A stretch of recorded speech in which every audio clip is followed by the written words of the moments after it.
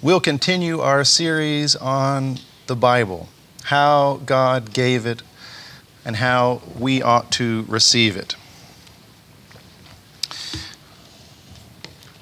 So, first, we're uh, looking at this section of history, which is uh, answering the question how did God give us the Bible? And so, just to review, we looked at how God gave the, uh, the first five books of the Bible to Moses, and uh, those are written down and kept in the, uh, the tabernacle. Uh, the tabernacle was the central repository for sacred scripture, and uh, in Moses' day, uh, that's when God gave him the pattern of the tabernacle, and they built that. And, uh, and he wrote down uh, his five books and put it there with the ark. And also, uh, you remember the two tablets written with the finger of God, those were in the ark. And then after Moses, of course, Joshua also wrote scripture. We read that in the book of Joshua.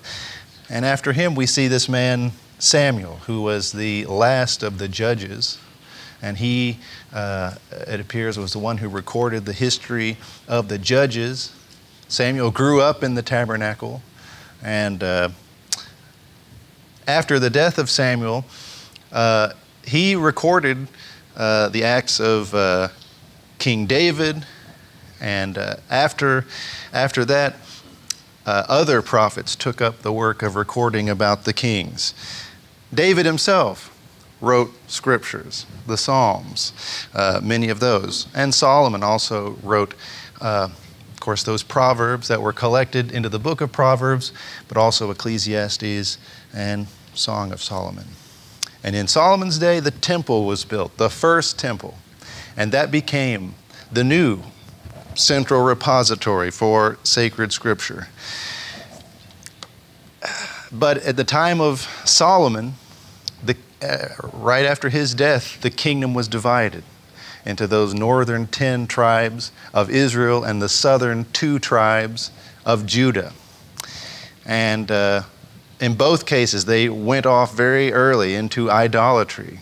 And so God was going to bring judgment upon Israel and Judah, and he began to warn them. He began to send prophets. So some of those prophets that were sent to the northern ten tribes were Amos and Hosea and Micah. And also the prophet Jonah uh, was uh, ministered to the uh, Israelite kings. And these writings were collected as scripture. And uh, of course, we know ultimately Israel went into uh, captivity. Was, uh, Samaria fell to the Assyrians. And so that left Judah. And the situation was only slightly better there. And from the time of their first king, Rehoboam, Judah also had practiced idolatry and abomination. And so prophets were sent to warn Judah. Nevertheless, it was different in the southern two tribes because some of the later kings were faithful to the Lord. And so there were these periods of reformation, and that's what we're going to look at uh, today.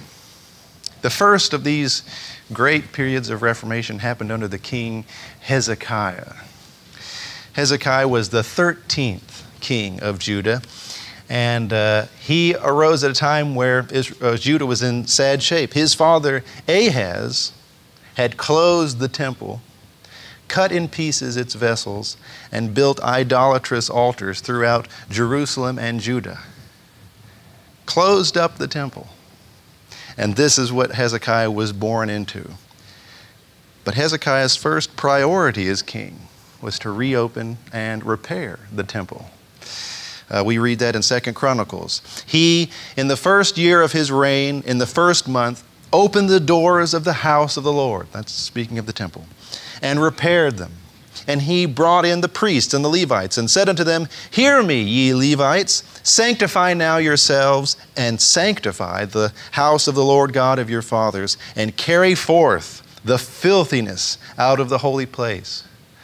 So not only was there uh, idolatry happening outside the, the temple, but even things had been brought into the temple. And so Hezekiah said, Get those out, carry all the filthiness out of the holy place.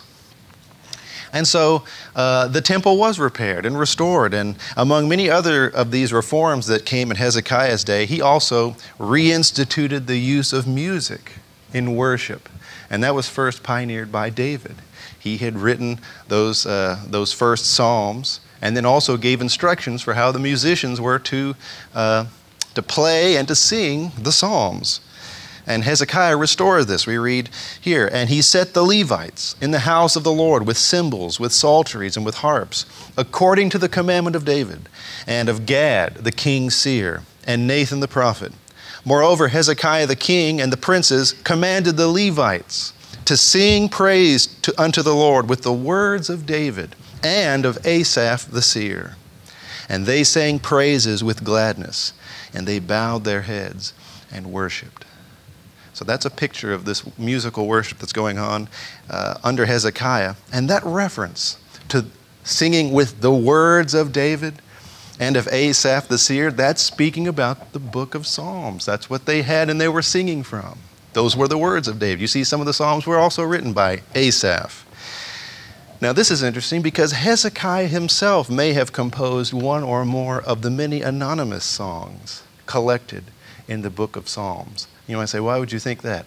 Well, there's a little uh, hint to, the, to, Hezekiah composing songs that he uh, records in his writing after he was healed of his sickness. Here in Isaiah 38, this is the writing of Hezekiah, king of Judah, when he had been sick and was recovered of his sickness. He said this The Lord was ready to save me. Therefore, we will sing my songs to the stringed instruments all the days of our life in the house of the Lord. That seems to indicate that Hezekiah's songs were sung in the temple and very well may have been collected into the book of Psalms. You see how many anonymous song, uh, psalms there are in that book. We don't know certainly. But also, in addition to advancing the use of psalms in temple worship, Hezekiah also sponsored the collection of additional Proverbs of Solomon. Do you remember how many Proverbs that Solomon had wrote, had written? 3,000. And it's not 3,000 uh, verses in the book of Proverbs. So the work of collecting and editing these Proverbs was ongoing. You say, How do you know that? Well, if you read in the book of Proverbs, you come across this. These are also Proverbs of Solomon, which the men of Hezekiah, king of Judah, copied out. Hezekiah's men, uh, under his command, are copying out uh, additional proverbs, and those were incorporated into the book that we have today. Sadly, the reforms that came under Hezekiah turned out to be short lived. Uh, he was succeeded by his son Manasseh, and that was uh, another era of unfaithfulness in Judah. Manasseh was a wicked king who, in his 55 year reign, ushered in this unprecedented era of idolatry and temple desecration. So, if you thought that what Ahaz had done to the temple was bad, Manasseh went even further. And it was uh, a very uh, severe apostasy that happened in his rule. We read this about Manasseh. This, the scriptures uh, are very graphic in what Manasseh did. They tell us this Manasseh was 12 years old when he began to reign, and he reigned 50 and 5 years in Jerusalem, but did that which was evil in the sight of the Lord, like unto the abominations of the heathen, whom the Lord had cast out before the children of Israel. For he built again the high places which Hezekiah his father had broken down and reared up altars for Baalim. That means all those false Baals. And made groves, uh, places, and instruments for idolatrous worship. And worshiped all the host of heaven and served them. What is that speaking of? That means they were worshiping the sun and the moon and the stars. Uh, that was a common theme in pagan worship. And Manasseh brought it all in.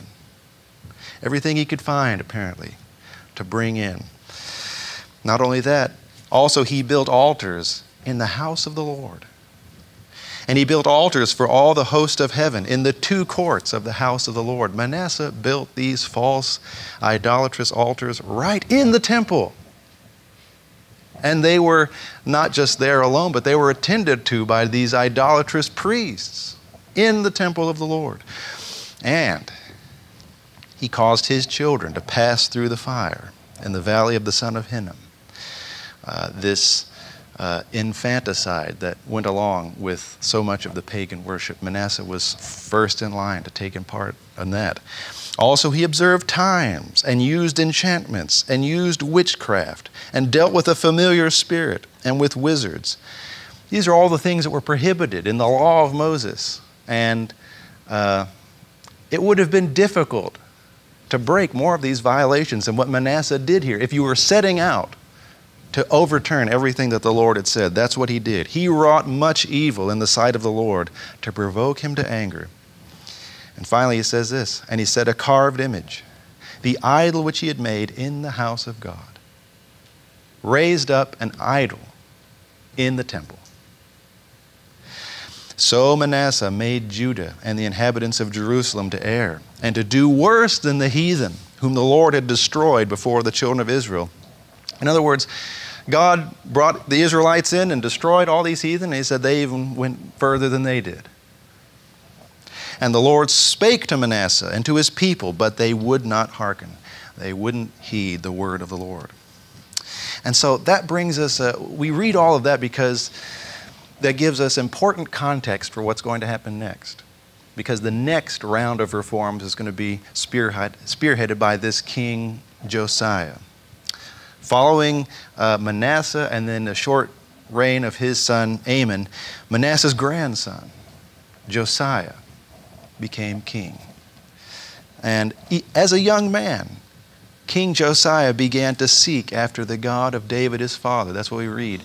And uh, it's somewhat uh, a mystery how exactly Josiah was brought to understand about the Lord, but he did. And he began to seek after him, and he began to make these reforms again. Josiah embarked on a campaign to rid Judah and Jerusalem of all these idols that his father had built. And not only that, Josiah burned the bones of the idolatrous priests on their altars and destroyed everything associated with the worship of false gods throughout Judah. He was very diligent in restoring the true worship of the true God.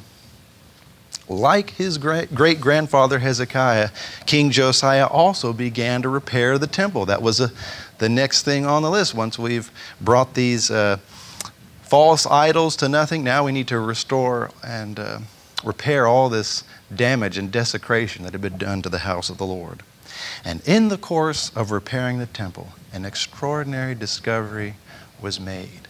And this is what's relevant to our study here of the Bible. We read this and when they brought out the money that was brought into the house of the Lord, Hilkiah the priest found a book of the law of the Lord given by Moses. And Hilkiah answered and said to Shaphan the scribe, I have found the book of the law in the house of the Lord. And Hilkiah delivered the book to Shaphan. Then Shaphan the scribe told the king, saying, Hilkiah the priest hath given me a book. And Shaphan read it before the king. And it came to pass when the king had heard the words of the law that he rent his clothes, he tore them in a sign of grief. And the king commanded, saying, Go, inquire of the Lord for me and for them that are left in Israel and in Judah concerning the words of the book that is found. For great is the wrath of the Lord that is poured out upon us, because our fathers have not kept the word of the Lord to do after all that is written in this book. So a book was discovered in the renovations of the temple. And this raises many questions. The first question is what was the book that was found? Uh, all that it's called here in these uh, scriptures that relate the event is that it's called the book of the law of the Lord given by Moses. Now, uh, the most popular explanation is that this was a copy of the book of Deuteronomy, and that certainly could be. Um, that would explain uh, why Josiah rent his clothes, because you see in Deuteronomy, there were recorded all the curses that would fall upon Israel if they fell into idolatry. Um, nevertheless, it may be more than merely a copy of Deuteronomy. It's possible that it could be a copy of the entire Torah, the entire five books of Moses. This phrase, the book of the law of the Lord, is used elsewhere in the Old Testament, not just to refer to Deuteronomy, but the whole Torah. But there's another possibility uh, that would explain the significance of this find. Is it possible that they found the very copy of the Torah that Moses had written and placed with the ark in the holy place? Not just a copy, the copy, the original. That's a very uh, interesting possibility. That would explain also why this was uh, an event of such magnitude, is that they found it. Well, that leads us to the next question why then did Josiah tear his clothes? Uh, of course, we know that's a sign of, of grief, and he was uh, afflicted uh, by the disobedience that had uh, gone on in Judah, and he knew that judgment was going to fall. But why was it that he tore his clothes in this way? Because when we read it, Josiah's reaction suggests that he was then unfamiliar with the book at least in its entirety. This, I think, we're, we're intended to, to gather from the way this is written that some of these things Josiah is hearing for the first time, or at minimum, he's hearing them in a, in a different way than he's heard them before. Evidently, he hadn't copied out the entire Torah as the Israelite kings were required to do. You remember that? That was in the law. Every king was to copy their own personal copy. And yet Josiah seems to be unfamiliar with at least some portions that he heard here. Nevertheless, Josiah had known enough to destroy the idols and to repair the temple. How did he know that?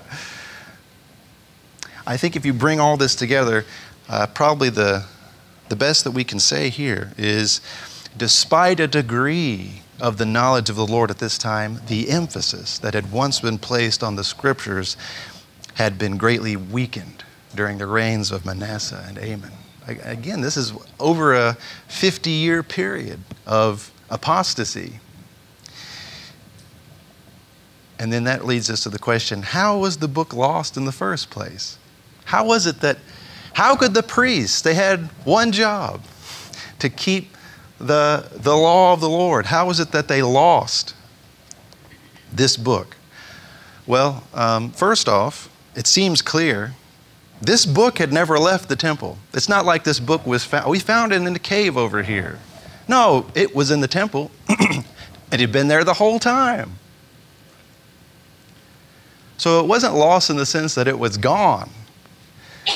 It's possible, was it perhaps mislaid? If you have uh, a library or an archive, sometimes if you don't know where to find something, that's as good as uh, it being lost. And that happens in libraries even today.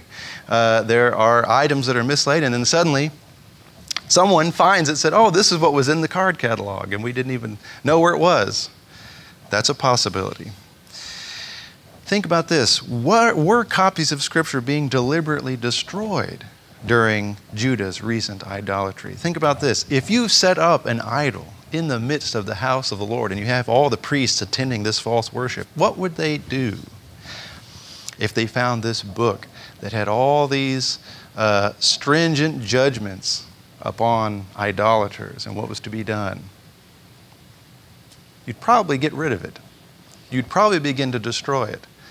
And uh, we're in the realm of supposition here, but no doubt that was happening uh, in the midst of this apostasy. And so, what else what might we think about how this book was lost? Is it possible that copies of Scripture were hidden away by the faithful priests and the Levites? That copy of the law of the Lord they saw to be very precious, and they saw that the enemies of the Lord were at hand, and so they secreted it away somewhere in the temple between some stones or uh, in a foundation, in, the, in a floor. We don't, we don't know. That, and that's what they seem to have come across when they were renovating the temple. Nevertheless, the discovery of this book of the law supercharged the reforms that Josiah was already implementing. You see, he was already uh, being very zealous for the Lord, but once he had the book of the law and he was reading it, and he said, We need to do this. We need to obey what the Lord has said we see that uh, he did carry out the commands of the the book because they observed the Passover. It says, There was no Passover like to that, kept in Israel from the days of Samuel the prophet. Neither did all the kings of Israel keep such a Passover as Josiah kept, and the priests and the Levites, and all Judah and Israel that were present, and the inhabitants of Jerusalem. That means that uh, Josiah observed this great Passover to a T, as it was instructed in the law of the Lord. And this is a, this is a great lesson to us. Josiah was obedient in what he knew to do. That's when he began to tear down the false idols. He was faithful, and in response, the Lord revealed more about what he should do. That happens in our own lives. Are there things we don't understand about the scriptures? Certainly there are. But are we faithful in what we do know? How can we expect God to reveal himself to us in what we don't know if we're not even following what we do know? Let's follow Josiah's example. Be obedient in what we know, and the Lord will reveal more. Like Hezekiah, an important part of Josiah's reforms was this advancement of the use of music in temple worship. We see that again. They bring it back. And so this may have included the composition and collection of additional songs in the book of Psalms. Uh, we don't have the details, but that could have been happening here again in, in this time. Nevertheless, judgment was going to fall on Judah, and they were, they were warned of that. Uh, right after they found this book of the law of the Lord, he said, and Go inquire of the Lord uh, concerning the words of this book. They went to the prophetess Huldah, and this is what she said Thus saith the Lord, Behold, I will bring evil upon this place and upon the inhabitants thereof, even all the curses that are written in the book which they have read before the king of Judah, because they have forsaken me, and have burned incense unto other gods, that they might provoke me to anger with all the works of their hands. Therefore my wrath shall be poured out upon this place, and shall not be quenched. So prophets were continuing to warn Judah. The same thing that happened to Israel will happen here if you do not repent. And uh, some of these prophets who warned Judah were Isaiah. He warned uh, Judah in the reigns of Uzziah and Jotham and Ahaz and Hezekiah. Also, Micah prophesied in the reigns of Jotham, Ahaz, and Hezekiah. Nahum appears to have prophesied at this same time. And then among those latter kings of of Judah. Jeremiah prophesied during the reigns of Josiah, and then the last four kings of Judah. And Zephaniah also prophesied in the reign of Josiah. It seems Habakkuk probably uh, fits into this time period as well. What were some of these warnings? We have a, a, a very graphic picture of these warnings being written down in the book of Jeremiah we read this And it came to pass in the fourth year of Jehoiakim, the son of Josiah, king of Judah, that this word came unto Jeremiah from the Lord, saying, Take thee a roll of a book, and write therein all the words that I have spoken unto thee against Israel, and against Judah, and against all the nations, from the day I spake unto thee, from the days of Josiah, even unto this day. Now, this was a period of some 20 years and the Lord says, All this prophecy that I've given to you, you need to commit that to writing. And so he did. The Lord says, It may be that the house of Judah will hear all the evil which I purpose to do unto them, that they may return every man from his evil way, that I may forgive their iniquity and their sin. So the Lord's looking for repentance. And so Jeremiah carries out this instruction. Then Jeremiah called Baruch, the son of Neriah. And Baruch wrote from the mouth of Jeremiah all the words of the Lord, which he had spoken unto him upon a roll of, the, of a book. And again, this is uh, not the, the kind of uh, book that we're used to, but this seems to indicate a scroll that they were writing in. And uh, we see that Jeremiah is not himself moving the pen but uh, this scribe, Baruch, is writing as Jeremiah is dictating the word of the Lord. Uh, you know, that's the same way that other scriptures are written. Uh, Paul, in some of his letters, said, I'm dictating this to, to people. Nevertheless, it was the word of the Lord. So they wrote this down. And then Jeremiah sent Baruch to read this book publicly in the temple. And so he was going to read all the warnings from God. And then someone overheard that. And some officials of Judah then asked Baruch to read the book to them private. They said, Come over here and read us this book. And then they took the book to King Jehoiakim and read it to him. And Jehoiakim was not a good king. He was involved in this idolatry, he was promoting it. So he did not like the message that God had sent. We read this Now the king sat in the winter house in the ninth month, and there was a fire on the hearth burning before him. And it came to pass that when Jehudi had read three or four leaves, he cut it with the penknife and cast it into the fire that was on the hearth until all the roll was consumed in the fire that was on the hearth.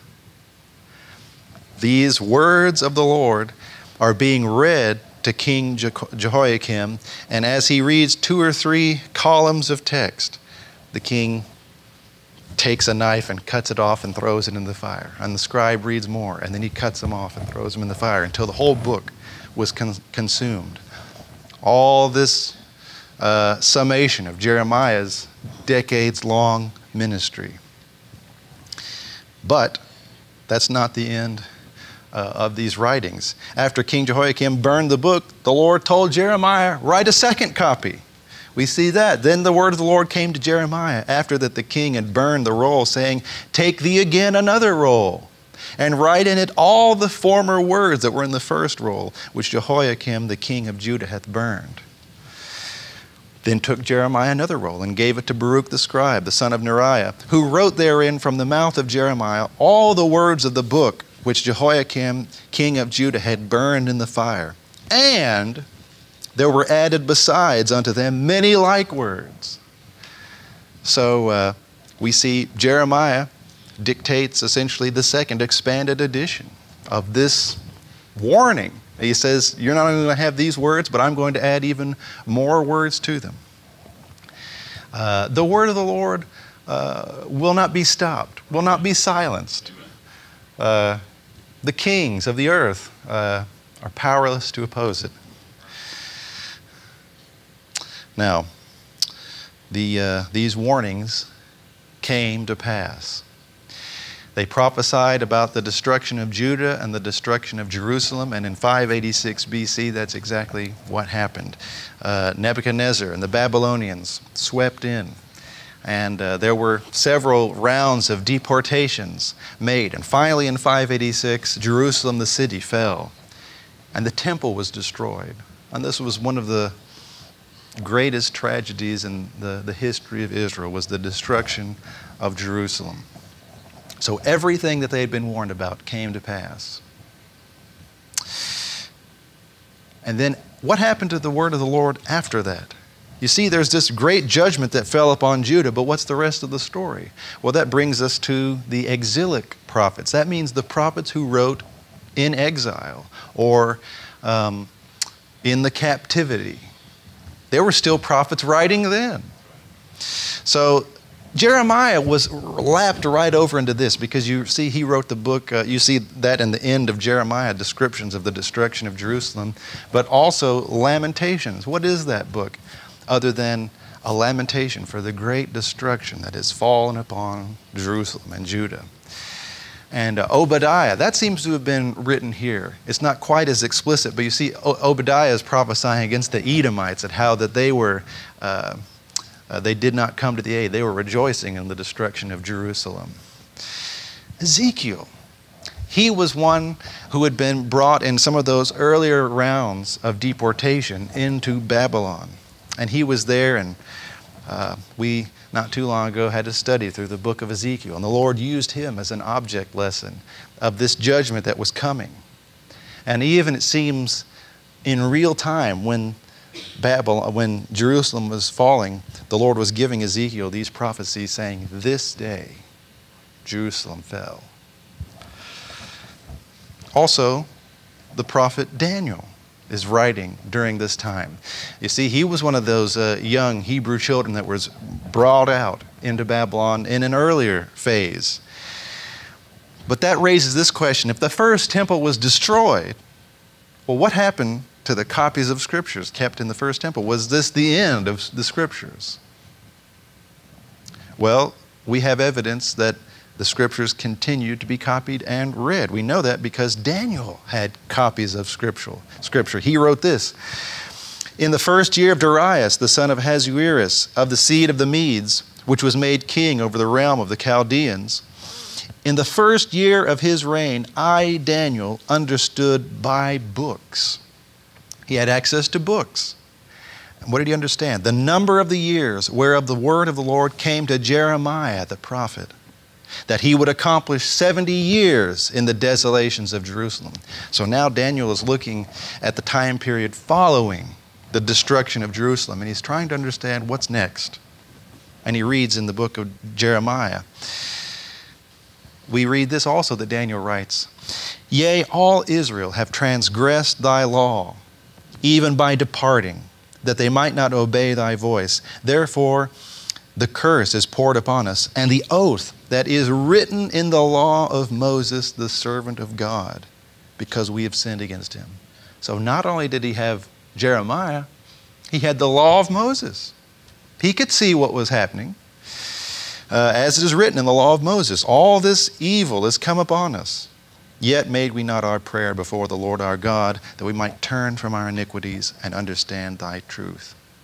So we see from this that Daniel had books that included the prophecy of Jeremiah as well as the law of Moses.